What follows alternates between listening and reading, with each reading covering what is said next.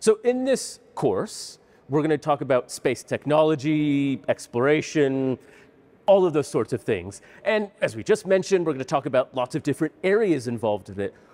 But what do we mean by space, Paul? So this is what we're going to zoom in on in this particular first lesson in the space section. We're going to be talking about what is space? What's the definition of space? Where's the boundary between air and space? And we're also going to talk about how space is different from the Earth. I mean, is it lack of gravity? Is it lack of atmosphere? Uh, what is it that makes things in space different? And how is that going to affect how we use things in space, how things behave?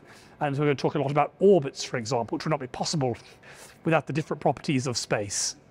Now, some of this may overlap with the planets section and part of the course. Um, so if that's the case, check the notes below uh, and you can skip forward a few of these videos and to the next lesson.